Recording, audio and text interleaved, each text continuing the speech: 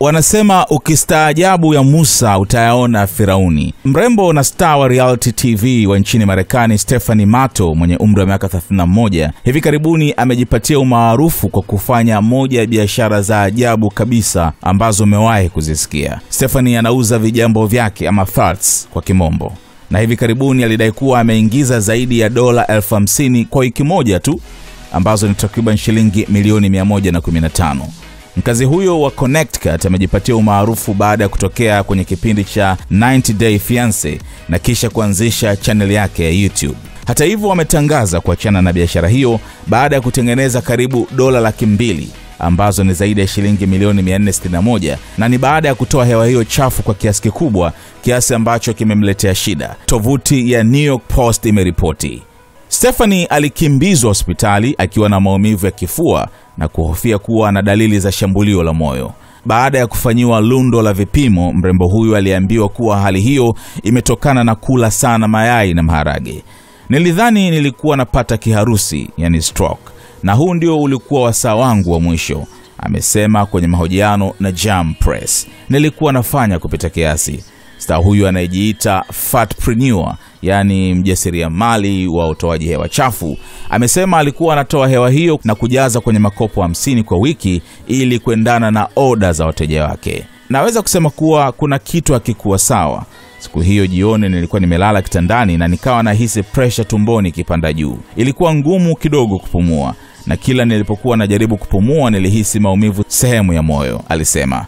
Na hapo ndipo wasiwasi uliongezeka. Nilimpigia simu rafiki yangu na kumwomba nipeleke hospitali, sababu nilihisi kupata mshtuko wa moyo. Hii hapa ni picha ambayo New York Post ameiweka ambayo inaonyesha alipokuwa amelazwa hospitali. Iliwekwa wazi kuwa sikuwa anapata kiharusi au mshtuko wa moyo, lakini ni maumivu ya kuwa na gesi nyingi sana.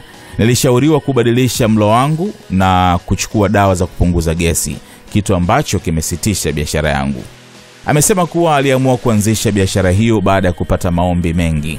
Kama bahati tu, nilipoweka makopo yangu kwa ajili ya kuuza, yalianza kununuliwa kama hotcakes, anasema. Kiukweli sikuamini mahitaji hayo. Nadhani watu wengi wana matamanio haya kwa siri. Pamoja na mafanikio hayo ya kifedha, biashara yake ya kipekee imepokelewa kwa mitazamo tofauti. Kuna watu wengi wananisifia wakiniita bosi msichana, wakiniambia nawapa hamasa kutoona aibu kwa vile walivyo na wanachotaka kufanya, amesema Stephanie. Lakini kwa upande mwingine watu wananiponda sana, nimekuwa nikitishiwa hadi kifo, watu wananiambia nikatishe maisha yangu na kadhalika, ameongeza. Amekiri kuwa familia yake imefurahi ameachana na biashara hiyo ya ajabu, na kupitia TikTok ameweka pia uh, hiyo screenshot ya post ya New York Post na akawa ame kama anaonyesha kusikitika hivi kuachana nayo biashara, na katika hiyo video akawa ameandika when you can't sell fat gels anymore. Na kuweka emoji ya kulia. So bado ni maarufu, lakini kupitia TikTok amekuwa akitengeneza video zingine, na ndo hivyo ameshiriki kwenye hii show inaitwa 90 Day Fiance ambayo hivi karibuni tulimwona uh, Rosary akishiriki katika episode moja, unaona. Kwa hiyo ni show inayotazamwa sana, kwa hiyo ana maarufu upande huo so akawa anatumia huo umaarufu pia kwa ajili ya kufanya hii biashara yake ya ajabu ajabu, ambayo hata hivyo imebidi aachane nayo kwa sababu imemletea madhara kiafya. Ndio mambo ya dunia hayo. Tupia komenti yako na subscribe ili kupata taarifa nyingi zaidi. I made $45,000 in one week selling my jars of farts. And ever since my last TikTok went viral, I've been getting a lot of questions such as How long do the farts last? Did I really fart 97 times in two days? Who buys my farts and why? And what are some of my tips and tricks?